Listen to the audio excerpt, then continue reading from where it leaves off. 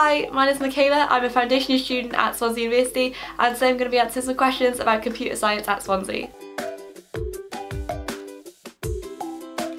So when I was choosing universities in year 13, I went to about six different universities, but Swansea was the only university that I came to and I really, really loved. I decided to look at Bay Campus at Swansea Uni because that is where computer science is now based. One of my favourite things about Bay Campus is obviously the beach. The beach is directly attached to Bay Campus, so it's literally a two minute walk from the library. It's amazing. Another reason why I love Swansea was because the campus is so new and modern and there's so much to do on campus. There's two restaurants, there's a shop, there's a bank, there's sports facilities, there's a gym, it's so much stuff that you find that you don't need to go elsewhere because it's all there.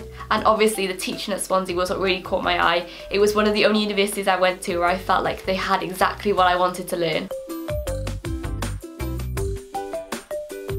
So in foundation year and first year, everybody takes eight modules over the course of the year and that's four in semester one and four in semester two. All of my modules have been so different and unique that it's really hard to pick a favourite or compare because they are all just so different. If I had to choose, I would say my favourite would be CSC 079 Fundamentals of Robotics. In the module we use the EV3 LEGO Mindstorms robots and we use them to program a series of tasks. In the first half of the module we used the EV3 environment and then in the second half of the module we used Robot C. Personally I preferred Robot C just because it's a procedural programming language like Python and Java so it's more what I'm used to but some people preferred EV3. One of the tasks we programmed our robots to complete was to autonomously self-park. The robot would use an ultrasonic sensor to detect when there was a gap and if it detected that the gap was big enough it would then start a function that would autonomously make it park.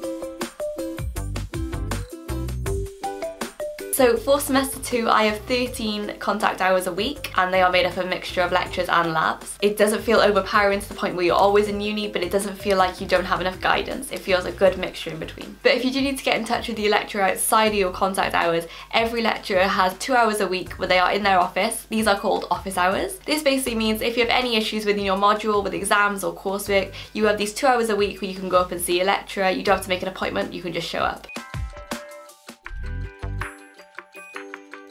My three favourite things about Swansea are the beach, the nightlife and the people. Because it's such a new campus, all the facilities are state of the art, including the Computational Foundry, which houses the departments of Computer Science and Maths. The Computational Foundry is where computer science students like me will spend most of our time. There are lecture halls on the ground floor, and then up on the second floor there are labs, so there's Windows labs and Linux labs, and there's specialist teaching labs. We also have facilities available to us at the library. The library has printing facilities as well as silent study zones. There is also a range of books for all subjects that are covered on Bay. The final most common place that I find my resources is online. So currently at Swansea we use Blackboard online, but in September we are switching to Canvas. Seven out of eight of my modules have taken place on Blackboard, but the final one took place on Canvas. Lecturers usually put their notes and lecture slides online with resources to help you, so if you miss something in a lecture, you don't have to worry, you can look back later and copy that into your notes. Some lecturers also record their lectures and upload them to Blackboard or Canvas, so if you do end up missing a lecture due to illness or an appointment or anything, you can watch it back and you won't miss out. So that was five questions about computer science at Swansea.